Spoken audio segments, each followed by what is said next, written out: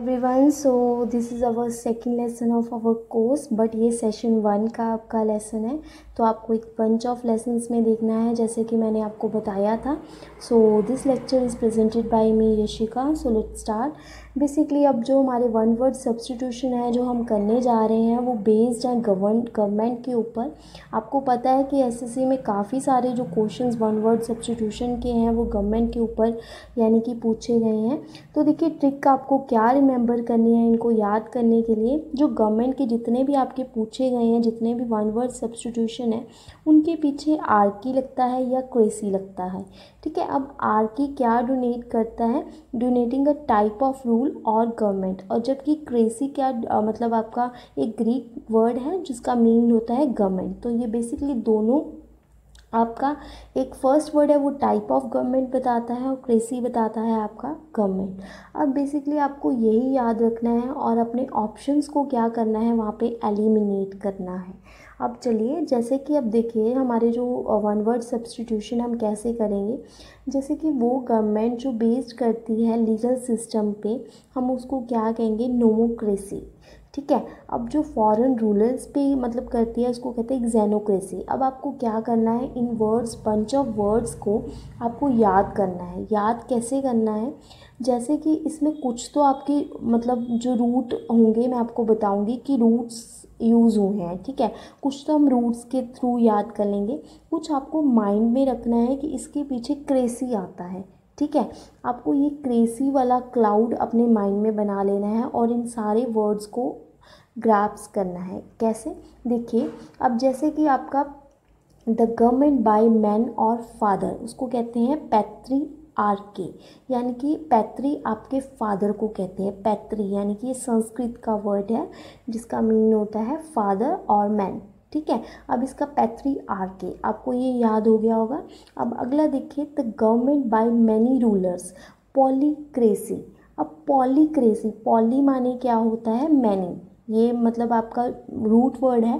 Cracy माने क्या होता है? गवर्नमेंट तो पॉली क्रेसी जो हुआ, वो है मैनी रूलर्स अब देखिए, जो अगला है the government by the government by despots और टायरेंट्स अब जो आपका डेस्पोर्ट्स है, जो आपका डेस्पोर्ट्स है, वो आपका पहले लग जाएगा, उसके बाद आपका क्या लगेगा? क्रेसी तो इसको आपको याद करने की भी ज़रूरत नहीं है।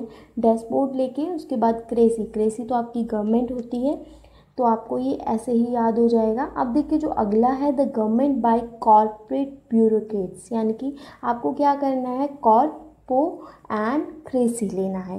एंड द थर्ड अब देखिए जो अगला है, वो क्या है?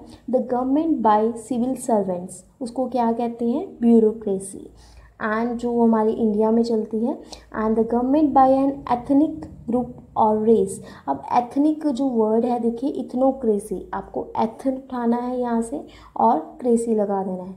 सिर्फ़ आपको जो दो वर्ड हैं, उनको याद करना है इसमें the government based on legal system जिसको हम कहते हैं nomocracy and the government by a foreign rulers को उसको हम क्या कहते हैं?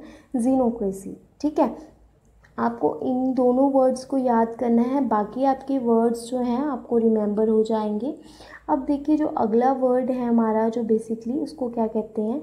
The government by one individual यानी कि एक इंडिविजुअल उसको हम क्या कहेंगे? ऑटो ठीक है ऑटो आपका रूट वर्ड है, जिसका मीन होता है वन और मतलब इंडिपेंडेंट और उसको हम क्या कहते हैं ऑटोक्रेसी अब देखिए जो अगला वर्ड है the government by a simple majority अब इसका मतलब अब आपने क्या देखा होगा कि आपने सुना होगा सिंपल अर्थमेटिक होता है, ठीक है, हम इसमें ये ट्रिक लगाएँगे कि अर्थ अर्थ अर्थमेटिक सिंपल अर्थमेटिक यानी कि सिंपल मेजॉरिटी आ रहा है तो यहाँ पे अर्थमोक्रेसी आएगा. अब देखिए the government by the few उसको हम क्या कहते हैं? ओलिगार्ची हम हर किसी की ट्रिक नहीं लगा सकते बट जितनी ट्रिक्स मैं आ, मतलब आपको बता रही हूँ आप उतनी ट्रिक्स लगाइए जितने सफिशेंट वर्ड हैं आप उनको याद कर पाएँगे. अब देखिए द गवर्नमेंट बाय प्रिस्ट और बाय रिलीजियस लॉ इसको हम क्या कहेंगे? थ्योक्रेसी थ्यो थीस थ्यो आपका जो रूट वर्ड है जो थियो माने होता है गॉड ठीक है? क्रेसी माने क्या होता है? गवर्नमेंट तो ये बेसिकली ये टू रूट्स वर्ड्स को जोड़ के बना है। ऐसे ही आपके जो अगले थ्री हैं वो वैसे बने हैं। जैसे कि आपका जो वुमेन है उसको हम क्या कहते हैं? मैत्री कहते हैं। और आपकी जो गवर्नमेंट है उसको आ, क्या कहते हैं? आर के तो उसका जो आपका मैना है मैत्री आर के and the rule of god और गॉड्स उसको हम क्या कहेंगे? थियो आर की, यानी कि जैसे कि आपका थियो जो आपका रूट वर्ड है, वो यूज़ हुआ है आपके वर्ड के साथ, जो आपका बेसिकली आर की आपका गवर्नमेंट एंड थियो आपका गॉड है तो आप इससे पहचान लेंगे। आपने जब भी अगर आपको ऐसा गॉड के ऊपर आए तो आप इसको आ, मतलब थियो को रूट वर्ड को ढूंढिए आपको वहाँ से ऑप्शन में मिल जाएगा और आप इजीली एलिमिनेट करेंगे। जब आप वोकेबलरी में एलिमिनेट करना सीखेंगे ना बेसिकली आपको एलिमिनेट करने होते हैं ऑप्शंस वहाँ पे। आपको कंफ्यूज नहीं होना है जब आप वर्ड देखेंगे। कई बार ऐसा होता है कि वर्ड बहुत डिफरेंट होता है हमें समझ नहीं आता इसका क्या हमें एग्जैक्ट मीनिंग नहीं पता होता।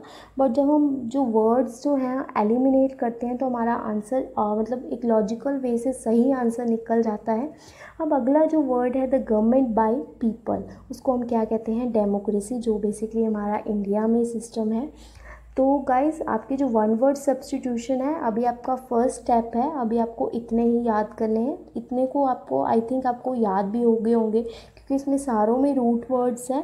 जो अगले सेशन में है, हम बढ़ाते जाएँगे इन वन वर्ड सब्सटीट्यूशन को। देखिए गाइज़ वन वर्ड सब्सटीट्यूशन में मैं कोई इमेजेस का यूज़ नहीं कर सकती, इतनी ट्रिक्स नहीं है, हम रूट वर्ड्स का यूज़ करेंगे।